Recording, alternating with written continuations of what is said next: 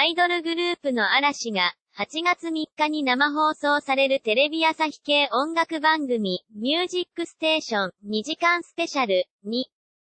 0時から21時48分までに出演し、兵庫、甲子園球場からスペシャルメドレーを披露する、甲子園球場への入場は不可。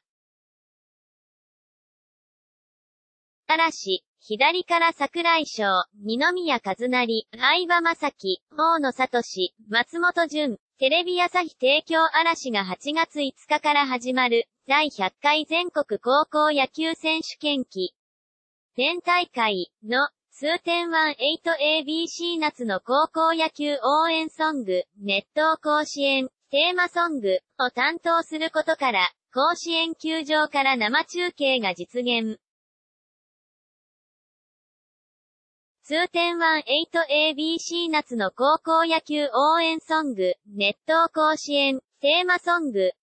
と、夏はやて、夏はやてを含む、スペシャルメドレーを披露する。この曲は、ゆずの北川友人が作詞作曲したもので、夏にかける旧字た。地の思いや、一瞬のきらめきを凝縮したような楽曲となっている。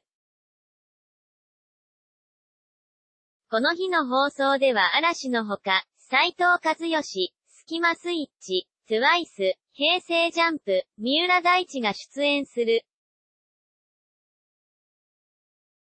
スキマスイッチは、ドラマ、オッサンズラブのエンディングテーマ、リバイバルを披露し、同ドラマ主演の田中圭も登場する。本記事は掲載時点の情報であり、最新のものとは異なる場合があります。